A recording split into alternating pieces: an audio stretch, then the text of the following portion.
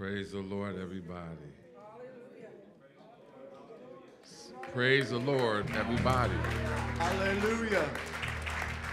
Hallelujah. Glory, hallelujah.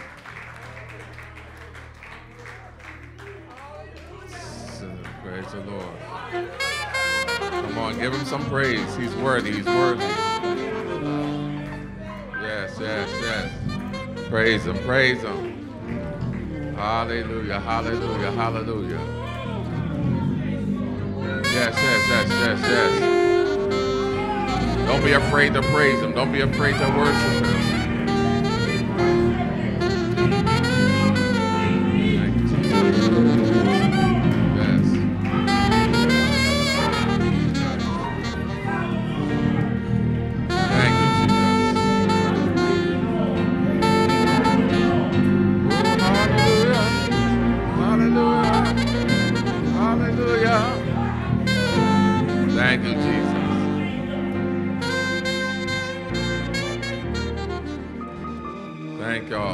Very much. Thank you very much for the praise. Deacon Kenny's over there telling me, you know, why smile? All that. I said, Deek, me getting here. Anybody ever had them days? Me getting here was about all I could possibly do. This morning, my wife said, I know you're not going to church. I said, Yeah, we'll see, we'll see. Yeah, I'm gonna try to get there. But yet last was it last yesterday afternoon I was watching, uh, and they have these stories, football stories of football lives. Yeah, you remember, you know that Joey. And on the football lives, they had Ricky Williams was playing. Anybody remember him? Remember he was a, he was a tough runner, and he was in a game, and he tackled and and his his shoulder, right? It came out, and it it came out of joint, and they took him in the locker room, and everybody said he was done. And so Ricky said he went to, you know, they went in and the doctors looked at all of them. And he th- said he thought about the, the people that were looking for him. He thought about his teammates. He thought about the coaches. And they said, What you want to do? He said, Man, pop that thing back in. and pop that back in. And he went out and had like an exceptional game. Now, first of all, that's a real man right I'll be there crying, like, oh, Jesus, my, my shoulder. I've seen shoulders pop out. That ain't no joke. he just about just popping back in and let's go to work. And sometimes, as a soldier in the army of the Lord, uh, you're gonna have some hard days, you're gonna have some hard time, but you know what? Just pop it back in. Just pop it back in and let's stop complaining. Let's go. Let's go to work because there's work to be done. Can you give God a praise this morning? So if I don't jump and shout and smile and all that stuff, I'm I'm, I'm somewhat injured, but uh, it's, it's getting better. I feel I feel my help coming even now. And guess what? Your praise, your worship, is part of that. That that that what it, it, it lightens the atmosphere right? It, it, it, empowers and infuses the atmosphere. See, we sometimes we don't even believe in the things that we say we do, but you know what? That's why people come we thinking people come for the preaching. Y'all ain't coming to hear me. You think people come for the choir. It, it ain't, you ain't get dressed up and iron your clothes and all that stuff for that. You came because you say, somehow, some way, when I get there, I'm going to meet Jesus. And he's going to be in the place. So now the singing helps that, the preaching helps that, but you came for a blessing. This morning, I'm praying God will bless you real good. Whatever it is that you need, whatever you are seeking from Him, it's here in the building. Can you give Him a praise for that? And guess what? Those y'all online, y'all can get a blessing too. It's not just here in the building, but we just have a little something, a little spiciness that, that's extra. Um, I, I, I, do want to go over Mark 16 again um, for this reason and this reason alone. At the very end of, this is the very end of Mark. So we got to understand, Mark is closing his entire epistle. He's closing his entire book. And he's closing it with these remarks, which are so significant for us to keep in mind. And so he says, later he, they're talking about Jesus, appeared to the eleven so the 11 were together. Of course, you know the 12, Judas is no longer with them. And he said, and as, as they sat at the table, so they were sitting at the table eating, the 11 of them was hanging out. And he rebuked their unbelief and hardness of heart because they did not believe those who had seen him after he had risen. So there still was some, some, you know, some skepticism of whether Jesus was alive or not, even amongst his own people. But he did, I'm talking about, you saw me do signs and wonders and miracles. You saw me turn water into wine. You saw me walk. You saw me do all this stuff.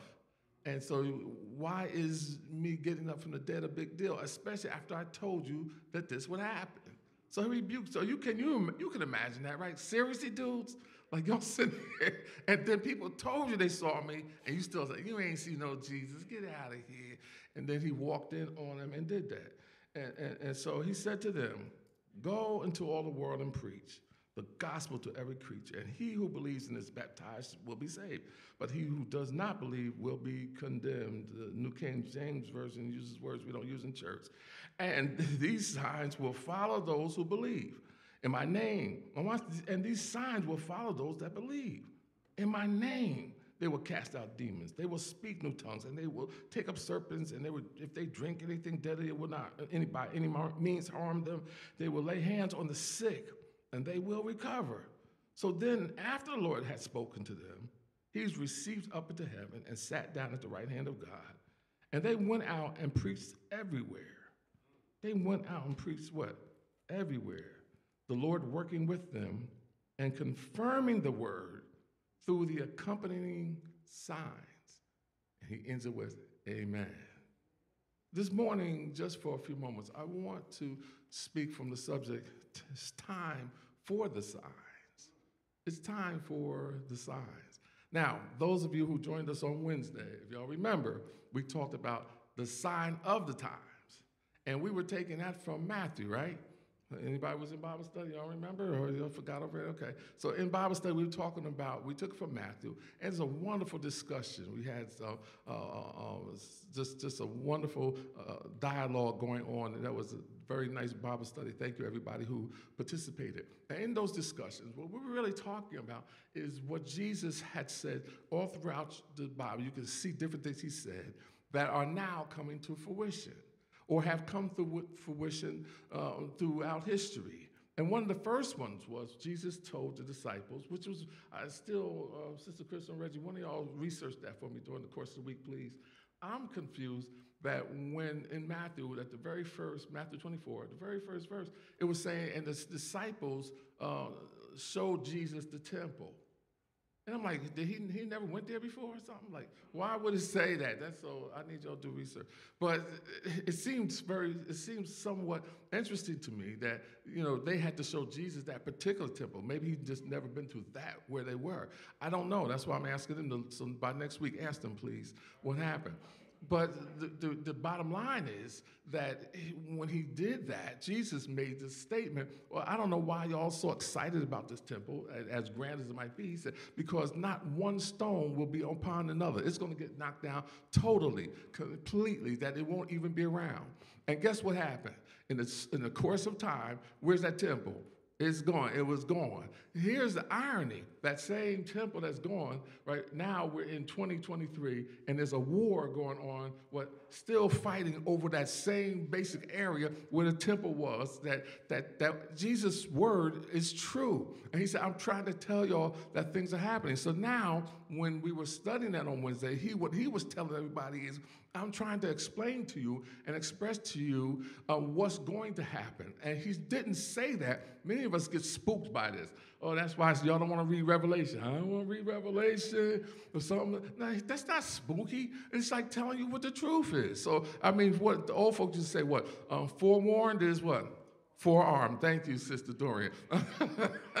Me and her both know that word.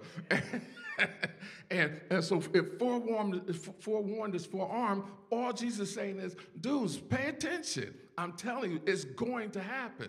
I even speak to my kids and all that, and they're like, what are we going to do about all these things happening? No, you can't do nothing. Jesus said it will happen. As a matter of fact, he goes as bold to say, y'all better hope I come back. He said, because if I don't come back, no flesh at all will be saved. Our salvation, I got news for y'all, saved and sanctified folk. Our salvation is not based upon you, you being so holy. It's not based upon you being so spiritual. It's not based upon how much you praise and worship. You know what our salvation is? It's based upon Jesus Christ and Him alone. Because He says, if I don't come back, with your saved self, the devil got something for you. oh, yeah. You let me know, come back and see what happened. You think you can handle everything. You think you can go through everything. You think, I, will never leave Jesus. Well, guess who else said that? Remember Peter said that? I, I would never. Well, he said, in three days, man. I mean, excuse me, you're going to deny me three times. And that very night, he denied it. Well, Jesus is now saying, I'm trying to tell y'all, there's stuff coming, and you got to what? Prepare yourself. It wasn't to scare us, it was to prepare us. It wasn't to make us frightened, but to let you know that soon and very soon, we're going to see the King. Can you give God a praise right now? Now here's now this is interesting as well. So you've got to understand the gospel which we preach is very difficult from a human standpoint to get anybody to believe. Seriously, think about it. So the first thing I tell you, okay, let me tell you, this guy was born way back when to a virgin. All right, so now number one, oh dude, stop, stop. what are you talking about? No, for real, for real. His mom was a virgin. He was born, right? Uh, his daddy's God. He was born okay, what else happened? And then he lived like this perfect life. So he lived a perfect life. Yup, he lived a perfect life. Um, by the time he got 30, he started this three and a half year ministry. He went around healing people. He healed people. Yes, healed uh, blind eyes were open, lame, uh, um, all kinds of stuff. He turned water into wine. Oh, what? He matter of fact, he walked on water. He used to tell the storm to behave. His boy Lazarus died. He said, Lazarus, get up. He did all this. So this guy who's born to a virgin, let me get this right. He was born to a virgin. He went around, lived a perfect life, and, and, and, then he did miracles, signs, and wonders. Yes, he did all that. What else? Is there anything else? Guess what? That's not even the good part yet. All right, so they hated him, and guess and he put him on a cross. Now, one thing we all know: if you put somebody on a cross, you're dead, dead.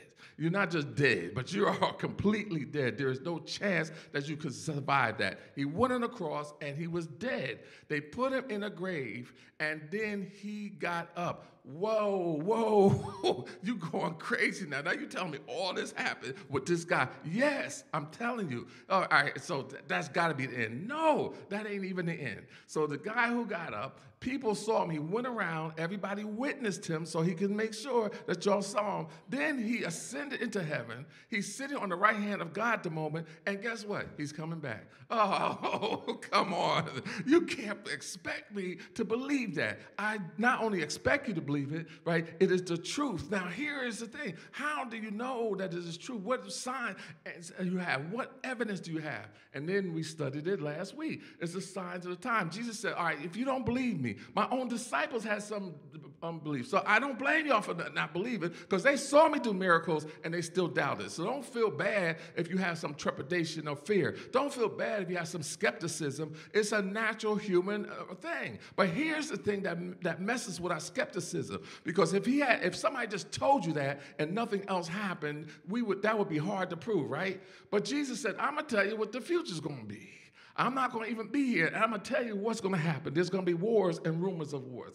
Is there not wars and rumors of war? There's going to be pestilence and things are going to happen. And we're like, wait a minute. And so that's why it's important now. Wait, I got to study this Bible. Not only are there wars and rumors of wars, there's things happening. Oh, I love the Bible where it says now Israel's going to go back. After all these years, Israel's going to at some point go back. I said, they can't go back. There are people already living there. And they're just thinking, it's impossible. 19, what was it, 1948? Israel goes back. I said, Oh my goodness, Jesus was real. He is real. And he is at the Father and he is coming back. And so he continues to have all this evidence. It's evidence based salvation. We're not just talking about a feeling or emotion, but we got evidence. Our God is true. And, and whatever he says is going to come to pass will come to pass. He cannot lie. He is not a man that he should lie. And so now we all see and we all understand. And so when we go to tell the world about this Jesus who's coming back, we have some evidence evidence. And the more we study and the more we understand, this is why we need to start digging into Revelation and see what else, because a lot of stuff has happened, but everything hasn't happened yet. Oh no. And some of the things that's about to happen, well, church, we got to get ready for it. We sitting around acting like it's always going to be like this. No, no, no. The Bible already proclaimed. I'm telling you, uh, Satan coming for y'all. Y'all so comfortable and y'all so wonderful uh, and you just uh, uh, look lovely and have everything going for you. Don't believe the hype Satan is trying to come. To Jesus, when, when he saw his disciples, he said, Well, Satan wants to take what sift you like wheat, but I prayed for you that what? I didn't pray for you that you're not sifted. I didn't pray for you that Satan don't come, but I prayed what? That your faith fail not. Oh, we got to hold on. See, we keep holding on uh, to, to what we have. We hold on to our money. We hold on to our tradition. We hold on to uh, you know, our, our reputation. But the truth of the matter is, the only thing that's going to sustain you is when you hold on to your faith. I, I wonder this morning, anybody holding on to your faith, uh, that, that your faith not fail. Because the day will come, your money going to fail. The day is going to come when, when your neighbor is going to fail, when your family's going to fail you, when people are going to let you down. Well, guess what? I got news for you. The day will come when the church will fail you. But as long as my faith don't fail me, as long as I hold on to his unchanging hand, if none of y'all support me, if none of y'all, I, guess what? As long as I got Jesus, I got enough. Do I have a witness right here? he said, that's why you're not scared. I got Jesus but I hold on to my faith. And so my faith is in him. And my faith is emboldened because of the things he said and proclaimed have come true. The sign of the times.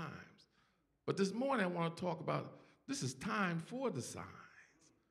Because it's in this process of salvation, in this process of our king coming back, there's one more thing. And he says, What? These signs shall follow them that believe.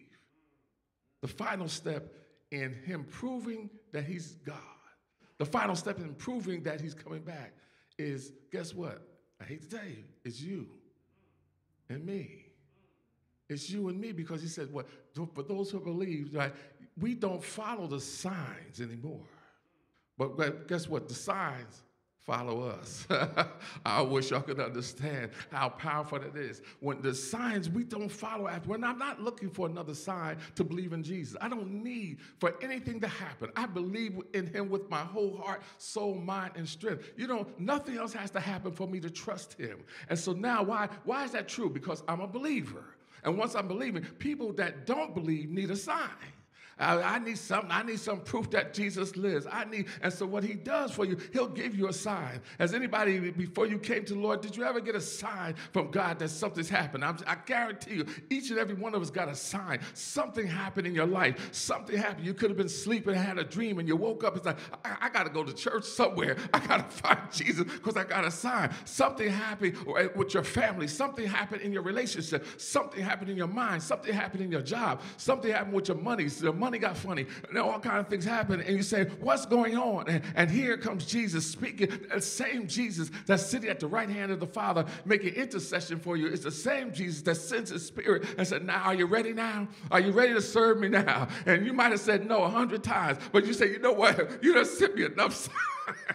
I don't need not near another sign. I'm ready, Jesus. Whatever you want me to do, wherever you want me to say, oh, I'm ready to do it. Why? Because you, He sends you these signs right? And that's when you were an unbeliever. But after a while, you learn how, to read your Bible. You learn, uh, well, not just how to read the words, uh, but how to get revelation from the Bible. And you learn how, to listen to the Holy Spirit that's in you. The Bible declares that, that you shall receive power after that the Holy Ghost comes upon you. What power for what? Uh, not to fight in the scuffle, but you got to have power to be witness unto the world. Uh, and, and this by this witness, that means what? Well, I'm able to do what the world can't do. I believe what the world can't believe because what I know where I'm going and I know who I am. I, I understand who I am and whose I am. And because I understand that, I'm no longer looking for signs. But guess what? I am the sign. Uh, people need to look at me and then, then they'll understand where Jesus is.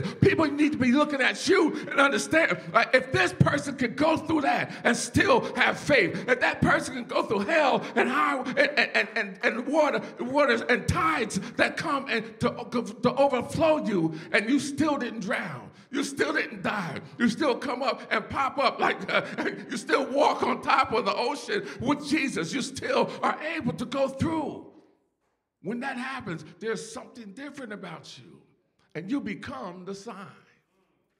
I was uh, traveling uh, the other day, and I was traveling down um, Stelton Road, and, and, and, some of y'all know that over in Pat, the Piscataway area. And so now, here's the thing. Uh, I grew up, well, I say grew up, went to college right over there. And years ago, there was nothing. When I say nothing, there was nothing over there except anybody remember there's just one Pathmark in the middle of nowhere. Why they would do that, I do not know. That's all. That's maybe why Pathmark went out of business. There's a Pathmark over there and nothing else, just trees and, and nothing you would go for. And so I was going the other day and I noticed how they built that up crazy. As a matter of fact, I don't care, I can't remember where that Pathmark used to be.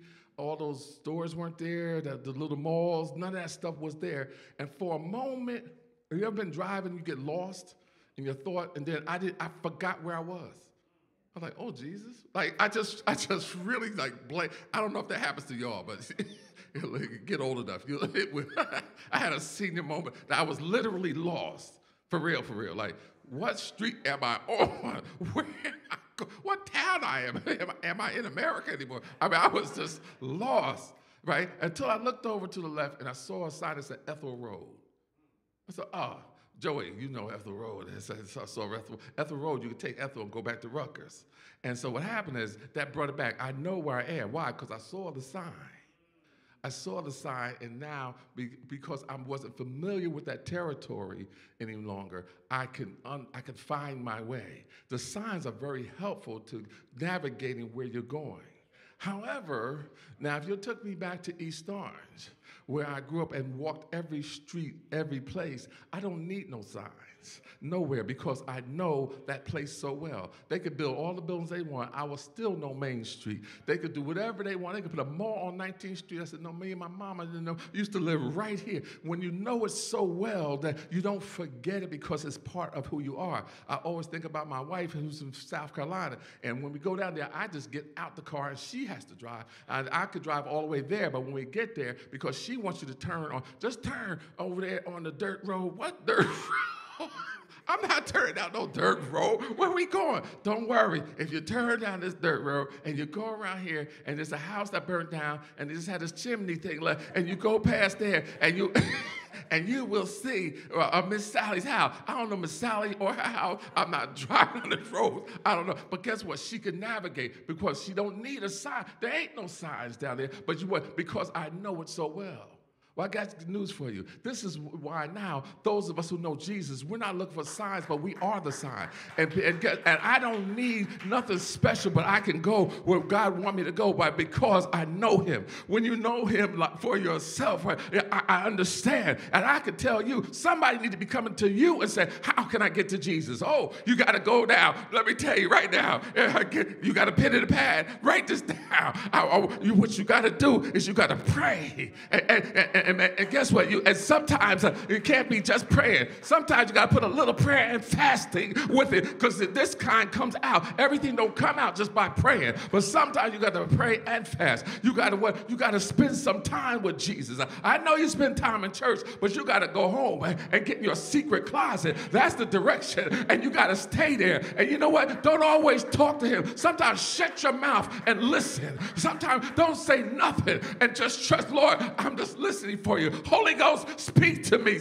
Speak to me. And guess what? It was the Holy Ghost will speak to you. He will talk, talk to you in your ear in a sweet, small voice. And you will know that as God and nobody else uh, and give you direction and give you power and give you authority and give you, oh yeah, what you're looking for. There are things you've got to do, but you don't know it until you get what somebody to tell you what are the signs of the time. What's the direction to Jesus? And after you do that, just put just surrender to Him. Lift up your hands and surrender. Folk want to know how to get saved. They want to know how to be sanctified. They want to know how to get out of the trouble they're in. They want to know how to keep their marriage together. They want to know how to get their life together. People's lives are falling apart, and we just hear clapping and singing. But guess what? We got to go. It says here they went everywhere. They didn't just go here, but it said the disciples said it's time to go everywhere. We believe Jesus now. We know Him now. We don't need no signs now, but we're gonna go tell the world that Jesus saves. How do you know He saves? Because He saved me. How do you know He delivered? Because He delivered me. He brought me out of the miry clay and placed my feet on a rock to stay. How you gonna tell me that Jesus can't do it when He did it for me? I was a wretch undone. He shouldn't have saved me. There was no reason He should have did it. There's no reason I should be here today. But God gave me what His grace and His mercy and followed me all the days of my life. And now I'm here. I'm here as a witness. Hallelujah. I'm here. Do I have any other witnesses in the building this morning? I'm here as a witness. He saves to the utmost, from the guttermost to the utmost. Somebody said, He saves. And that's what we have to understand how significant our salvation is. It ain't just for you to come dress up nice and come on Sunday morning. This is just a what this is a gathering fellowship. But guess what tomorrow is? Tomorrow a work day. It's time to go to work, y'all. So take these clothes off. You got to put your work clothes on. what you to me? I'm not talking about your secular job. I'm talking about your spiritual job. Oh yeah, it's time to go to work. This, these are the last days. Somebody need to know Jesus. And so you got to say, well, Lord, I, I know I got to go meet the man.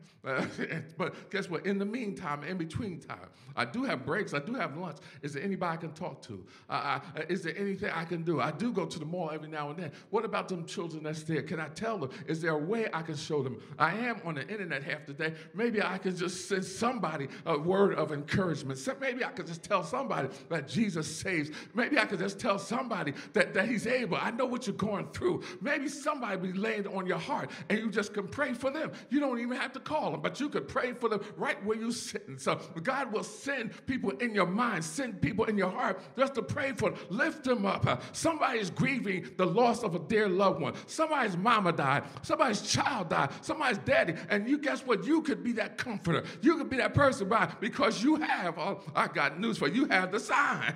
you know the direction. You are the sign. Oh yeah, he put it in you. He said, What? We are lights on a hill. What did it say? And you can't hide. So you, know what? The worst pe- people to try to hide as Christians, you know what? It's like, we, we, you know why we can't hide? Because because we illuminate. It's like playing hide and seek. And you and you a, bright light. you can't hide. Like where there you go right there. Anybody ever know go and, and you try to hide and try to be cool and act like I don't know Jesus? I'm gonna go to my favorite bar back in the day and hang out. And they're like, what you doing? what you mean what I'm doing? My money ain't good here? Nope, get out of here. you know good and well. You have no business being here. And there are things that happen in your life. I know I have a witness that you're saying, you know what? Uh, he's marked me. As hard as I try not to be marked, I'm already marked. right, Ronnie? Right? Listen, we marked, and so you might as well get on board because he ain't gonna let you go. I'll never leave. I'll never. You said, well, you should have left me after all I've done. You know, except I, but Jesus said, let me. T- I said, I'm never gonna leave you or forsake you. So what difference does it make what you do? We are, we are harder on ourselves than the Lord will ever be. He said, no, dude, you act like I didn't know you was gonna mess up. you act like I didn't know that you was a knucklehead. I knew you was a knucklehead before you was born. so it's not a surprise. You can't surprise God. He's like, I told you the beginning from the end. And I told you that for your comfort, right? So that you would, you be ready when he comes. Finally, there was a story that Jesus told about five wise virgins and five foolish. And we, you know, and he this wasn't just story time. Jesus doesn't just tell these stories for no reason. But he's saying at the time will come that if you're not ready, you know, I'm not going to talk about the ones who were ready. That's wonderful. But what about the ones that weren't ready? And it wasn't because they didn't have oil at one point. They didn't have anointing at one point. But over the course of time, something happened. And so he told the story. Why? Not so that you worry about that being you, so that you may go get your oil right now to make sure. Listen, a matter of fact, I'm gonna, I'm gonna get some extra. You know, keep some, keep some. You know how, how we do. Come and keep some in, in the garage just in case. I'm gonna keep some in the basement, some extra oil. Y'all know how y'all do. We we go to Costco. I'm gonna get get bundles of stuff. You know, when, when we had something, we had everybody. I don't know why all all of us ran and get toilet paper. We got so much toilet paper in the basement. Everybody just start getting stuff and getting. And, and what else goes fast? All this stuff that goes. What? Guess what? Forget that stuff. You know what you need to get? More anointing. That's what we need to be gathering. More anointing from the Lord, and it's possible that we need to get closer to Him, that we need to get what uh, uh, our hearts need to get, get more passionate for His people and for the people of God. And so, with that, I'm done, y'all. I just feel the Lord this morning. I thank God for each and every one of you.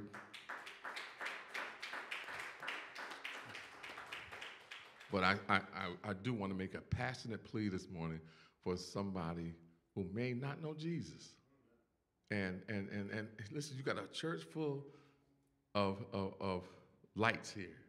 You got a church full right, of sign bearers. You know, here's the one thing I love. I'm, I said I was going to stop at one more, one more analogy, all right? Eh, here's this last analogy is that in every town, let's just use Springfield, and we know, I don't know Springfield hardly, oh, I know this, these couple of streets here, and I, I pronounced them wrong, so I'm not going to say them now. And I know a couple of streets, of course, South Springfield Avenue, whatever. But somebody, I don't know who it was, put them signs up. Somebody had to hang the signs in the first place. And that person, or those people knew this town intimately, right? Because you can't put signs up if you don't know where you are. That makes sense? So that person say, so they got a bunch of signs, and they're like, uh, they can't be lost at all. They said, dude, I know exactly where the signs are, and they put them up. There's people in this audience, but how many know Jesus for real, for real? I know exactly who Jesus is, right? And so you are a sign bearer, and it's time for us to put our signs up and let your light so shine upon among men, what that they glorify your Father which is in heaven. I'm asking this morning, is there one that's saying, I want to be a sign bearer too? I had questions, but my questions are answered. I had trepidation and fear, but that's all gone. I had doubt in my mind, but the doubt is gone. Jesus' testimony proved that he is God. He is with the what? On the right hand of the Father, and his spirit in these people. Hallelujah. I love that. This his spirit and these people have convinced me and guess what? If he could save you, I bet he could save me too. If he could, if he could forgive you, I bet you he can forgive me. Is there one this morning said, I need that forgiveness. I want that salvation. I need that Jesus in my life. Is there one?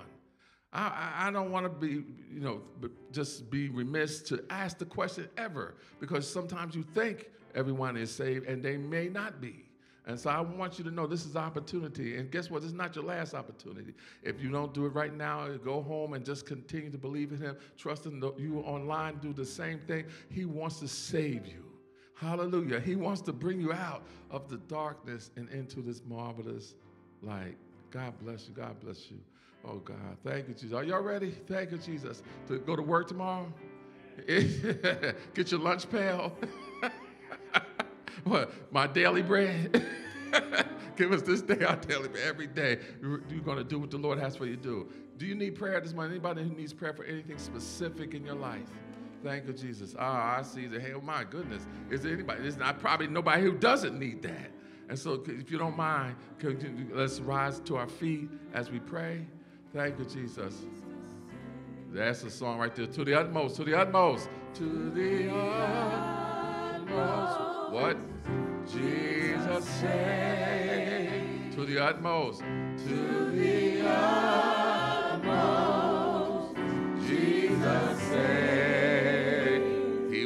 He will, pick you up and turn you around and turn you around. Hallelujah, hallelujah. Hallelujah. Jesus said. We just sing that with us to the utmost? Come on. To the utmost. Yes, yes, come on. church. Jesus saved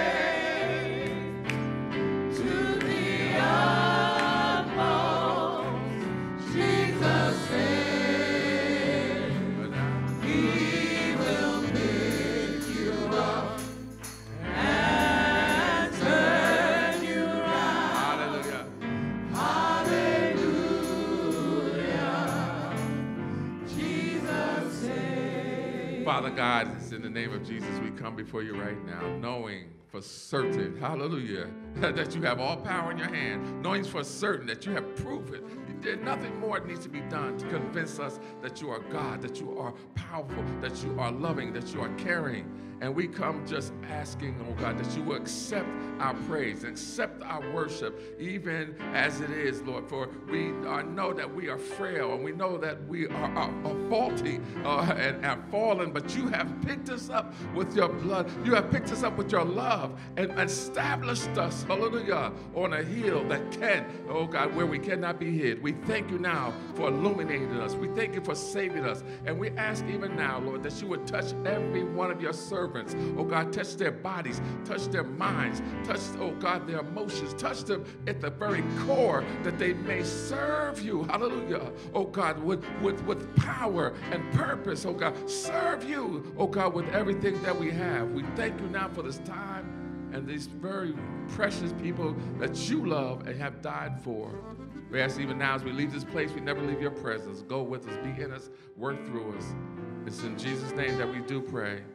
Can all the church say amen? God bless y'all. God bless y'all.